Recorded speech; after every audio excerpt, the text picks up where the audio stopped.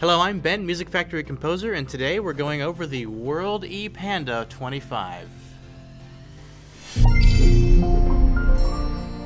The World E Panda 25 is a keyboard that I bought for about 100 US dollars. That is a really cheap price for a MIDI keyboard. I mean, that's really, really cheap. So you don't expect much. But you might notice that there's just some weird things going on here. Uh, for instance, the keys are just so incredibly crooked. I mean, if I if I kind of get this up here, you can really see just just look at how crooked those they look like crooked teeth. And the gaps, the spacings are so uneven. Especially right there at middle C where there's sort of the break between the two octaves. Right there at middle C is a huge gap where everything is just really crooked. I'm overall pleased with what I received, given the price especially is I mean, that's really cheap keyboard. But at the same time, there are other keyboards that are like the Novation 25 key that I reviewed last time, which you can see that here. You'll notice that just for $50 more, the quality jumped significantly. So I'm not sure why that $50 is such a huge difference in quality. I noticed this switch right here is really delicate. It feels like this is the kind of thing that if I did this more than 15 times in a row, that it would just snap off and I would not be able to turn my device on or off anymore, which would be really unfortunate. What you can do, and this is what I've kind of done with this, is just leave it on because it's USB powered. So until you plug it in, it's not going to even be powered at all. It's a good keyboard. I'm going to recommend this keyboard if you're interested in buying it. There is a link in the description. It is by no means a bad keyboard, but it could be a better keyboard. Uh, for instance, these pads, they work. They work really well sometimes, actually. But one thing I noticed is that when I actually receive this, and I'll just do this just to show you, look how easily that just comes right out of there. I don't know if you could see that pulling up, but look at that. Look, look at how how far out. I feel like that could be a little bit better. The velocity curve on the pads isn't great. It's okay. It works. So here is what I wanted to talk about is the velocity curve on the pads. Notice how I barely touch it. It doesn't do anything. If I touch it just a little harder, that's not a very soft velocity. Listen how soft I can get it with the keyboard. You can't even hardly hear that. But with the pad, that's as soft as it gets. Well, I got a little bit softer there. but you really have to get lucky. I mean, that's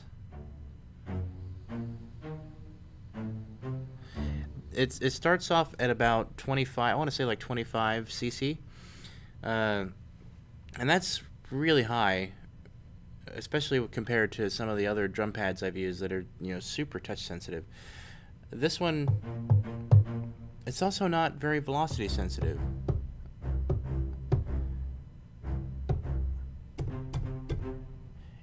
I have like if I if I barely touch it, I'm still getting like 127 velocity on that curve.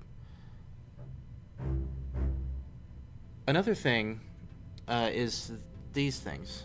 Um, you can't, or if you can, I haven't been able to find it, but you can't change the uh, spin ratio or how fast the oh it goes from 0 to 127 and you'll notice that I have to spin it almost three times I have to go 1 to 58, 2, and we're there.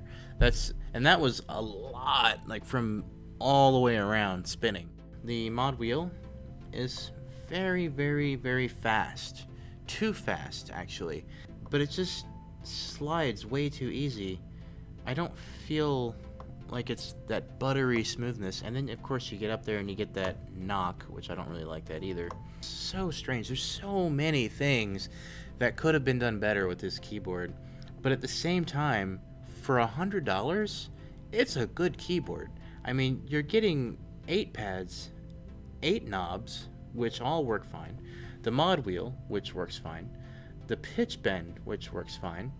You have all these different programmable options, which allows you to change, uh, say, split. You can split your octaves. You can change uh, memory banks, which I haven't even messed with that. You can change your octaves really easily by just clicking uh, Shift, I think, no, Shift off octave, and then you can just do plus minus, and you plus your minus your octave, and that's super easy to do. Uh, you can change your velocity curve of of your keys as well. That, I did notice, by the way, that is a significant difference in the velocity curve, uh, but I didn't see the same in the pads.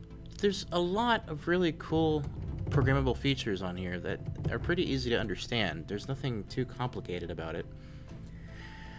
But there's also some software that comes with it, and unless you speak Chinese, you're going to have a really hard time getting through that software. Uh, but the software itself works pretty well once you do understand it.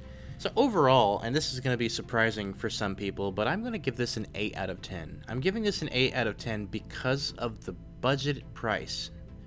It's really good for the price. I do feel like it could be better, so I knocked off a couple of points, but it works, and it works pretty well. So if you are looking for one of these and you want to get one, I would highly recommend that you check out the link in the description at Amazon and you can get pick yourself up one of these for about $100. Some people even sell them for a little bit less, so you might even be able to get a better deal. I think you can find them on eBay for even cheaper. Well, I'm Benjamin, Music Factory composer. Click the I up there to join our Facebook page. Click right here to subscribe to our channel. And of course, you can click here to watch our unboxing of the Novation 25 Key Mark II.